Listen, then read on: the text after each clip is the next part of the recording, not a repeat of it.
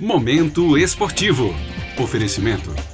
Carine Lessa Confecções. Pensou em uniformes? Lembrou Carine Lessa. Telepeças. A maior variedade de peças para Mercedes e utilitários Toyotas de toda a região. Max Min Clube. O máximo prazer nos mínimos detalhes. Neguinhos Lanches. Qualidade, higiene e bom atendimento.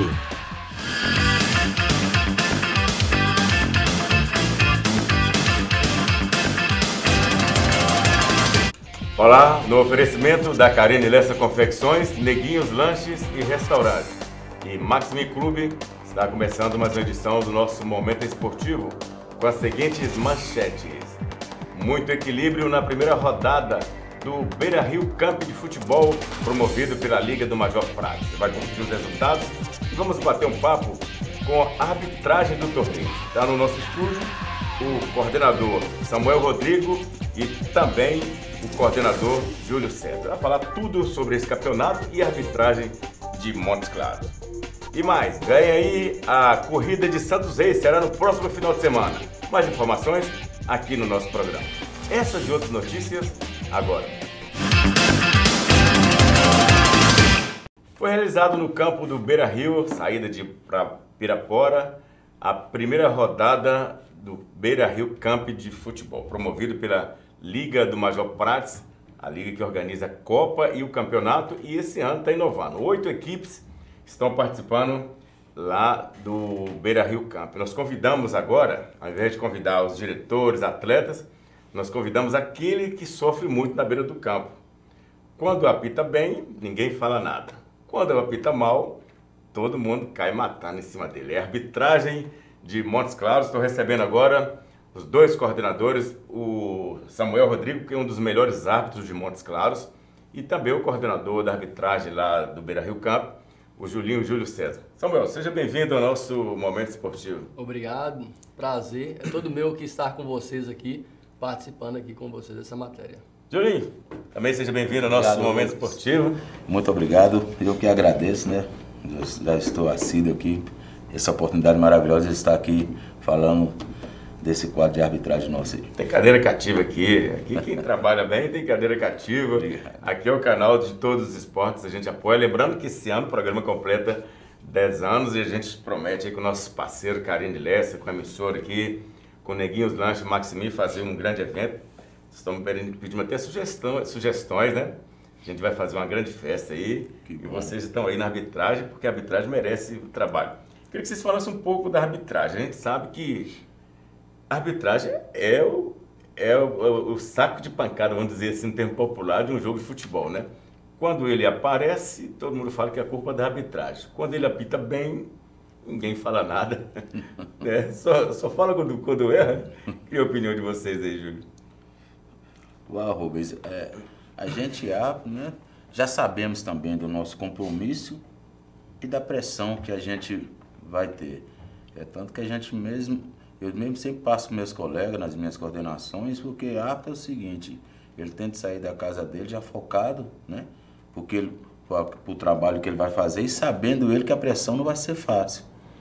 Né? Nós, árbitros amadores, somos assim. E todos estão, graças a Deus, né? O nosso quadro de arbitragem o ano passado foi muito boa, tivemos um êxito muito bom, né? Juntamente com o nosso amigo aqui, Samuel, né? Que vem fazendo um trabalho excelente aqui dentro de Mosclar e muito elogiado em todos os Sim, campeonatos que verdade, ele trabalha. Verdade. Então isso deixa a gente super satisfeito, né?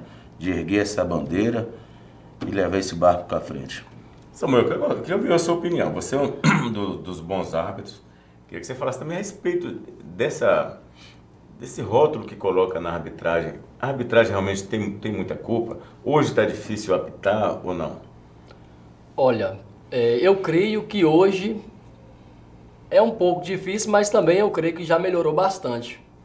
É, como você disse, é melhor o árbitro sair de campo sem ser falado, ninguém falar nada, do que sair criticado, né? Mesmo que não vai ter elogios, mas é melhor do que sair ali, é, muitos criticando.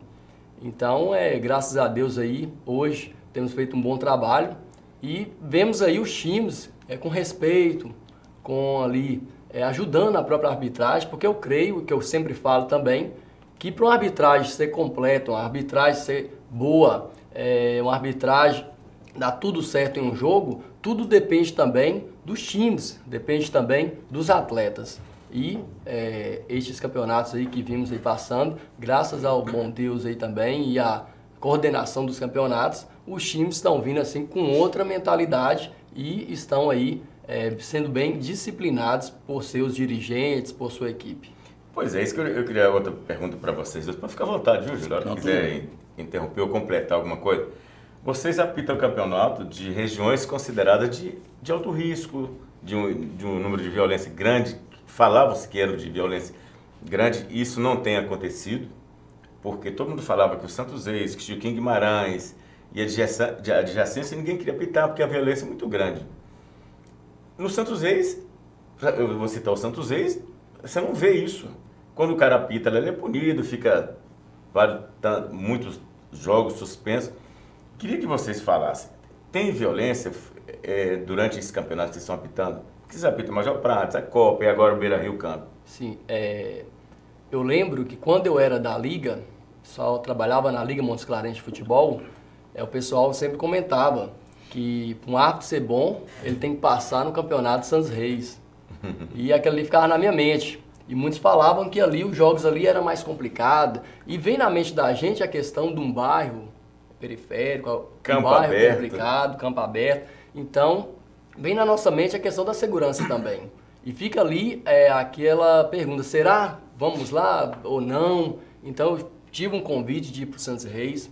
A primeira passagem minha em um campeonato de bairro, de campo aberto, foi no Santos Reis. E só elogio um campeonato também muito bem organizado e onde os atletas ali também são amigos, são pessoas sinceras e nada de violência, nada de, de coisas que poderia acarretar outro tipo de coisa assim mais grave, mas graças a Deus ele também tudo beleza, um campeonato muito bem organizado e muito bom também de trabalhar. É claro que tem jogos pegados, jogos é, mais acerrados, então é, é assim, a gente tem que estar mais em cima, mas é também um campeonato muito bom. E todos os outros campeonatos de bairro, campo aberto, são bons também, é, são pessoas disciplinadas. Não tem essa questão assim de falar só de violência. Se caso às vezes acontece, com certeza é um atleta é discutir com o outro, querer brigar, alguma coisa assim, mas ali a gente acalma os ânimos ali e tudo, todos são amigos e volta tudo em paz ali. Julinho, ele falou aí a questão de são amigos. Não é complicado você apitar jogos de amigo? Outra, outra pergunta. Quando termina o jogo, vocês ficam na mesa de, de roda com, com o pessoal, não compromete, não? Compromete, Rubens. Compromete até porque é o que eu passo meus colegas de arbitragem, né? Porque na realidade nós somos uns prestadores de serviço. Fomos lá, prestamos nosso serviço, não é que é, é proibido, mas é questão uhum. de ética. Sim. Terminou seu trabalho, segue seu destino para sua casa, que aí você leva a sua vida particular do jeito que você quiser. Você quer tomar uma, toma. Aí outra coisa. Porque é sempre como meio complicado. O time que perde ou que ganha, você vê o árbitro ali no meio envolvido com eles, não é bacana. Né? O, time, o time que perdeu vai, vai Perde a credibilidade? Exatamente. Comigo mesmo já aconteceu o caso né, de, de árbitro acontecer assim. E, e, lá no próprio Major Pratos, os times todos vetaram ele. É, né? Pediram para não colocar ele. Né? Tanto que eu estou levando agora, né, nesse terceiro ano meu que eu, vou, que eu estou lá à frente lá, vamos ver se, se os times deixam ele trabalhar. Porque na realidade é meio complicado para a gente, né? A gente tenta fazer também a opinada das opiniões do, das equipes, porque quando a, todas as equipes pedem a rejeição do árbitro, fica complicado a gente. É, na final do campeonato último agora, eu, eu vi que teve isso. Um árbitro, não vou citar o nome dele aqui, uhum. mas ele. É, os times não queriam.